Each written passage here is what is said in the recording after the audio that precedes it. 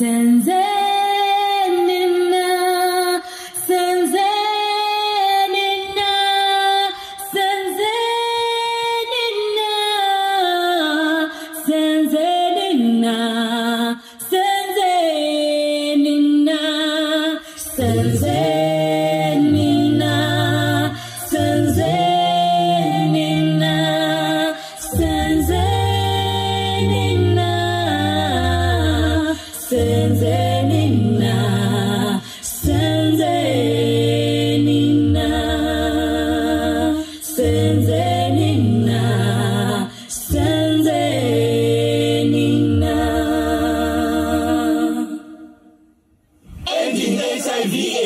by 2030 let communities lead ibasa redu senharaunda kuti mukondombera unge wapera pakati pedu patinosvika gore ra-2030 Umphathi uqhakathekile ukuze sinqobe igcikwane le-HIV kunye le-AIDS ungakafiki umnyaka ka-2030. absolutely true communities are key to achieving the goal of ending hiv and aids by 2030 Let communities lead. Communities should be at the center of the HIV and AIDS response. kuqakathekile njalo kuyanceda ukuthi ingatsha ezehlukeneyo zabantu emphakathini zincedise kunhlelo ezichiyeneyo zokulwa legcikwane le-HIV le-AIDS nharaunda ngaive pamberi kutungamira kuparadzwa kwedenda remukondombera Communities need to fully and actively participate in the national response to HIV and AIDS. Together we can. Let communities participate. tose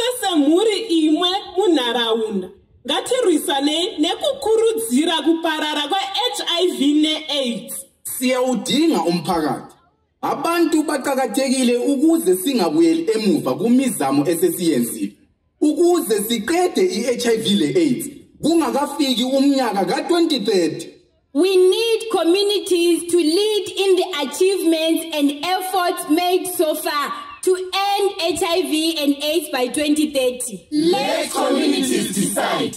Communities should be consulted and involved in decision making on issues that affect their health. asixoxisaneni sibonisane labantu ngezinqumo eziphathalene lempilakahle yabo zvakanaka kwazvo izwi redu senharaunda rekanzwika pakugadzira kwezinobata utano hwedu Let communities be involved. repressive laws that affect and disadvantage communities in terms of hiv and aids issues must be removed imithetho encindezela impilakahle yabantu ikakhulu ngokwe-hiv le-aids kumele yesulwe yose mitemo inounza kudzvanyirirwa kwevanorarama nedenda remukondombera pazvose ngaibviswe Let communities participate and decide. let communities share and respond Let communities be involved. ending HIV and AIDS by 2030. Let communities lead. Amandla! Now, Power! to the communities.